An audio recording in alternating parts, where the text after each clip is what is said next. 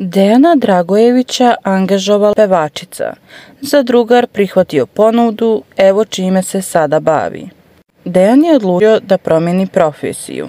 Nakon što je pobedio u zadruzi 5, a onda devojkom Aleksandrom Nikolić odmarao u Egiptu, Dejan Dragojević je odlučio da se opravaba u novim poslovnim vodama.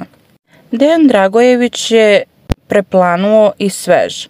Prihvatio poziv pevačice Maje Nikolić da bude maneken, odnosno glumac u njenom novom spotu.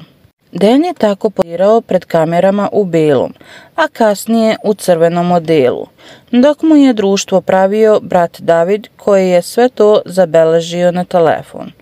U nekom trenutku Dejan će pred kamerama biti i u farmerkama i crnoj košulji, a mnogi su već na društvenim mrežama počeli da komentarišu kako reality učesnik posjeća na španskog glumca – i kako bi trebalo ozbiljno da razmisli o karijeri modela.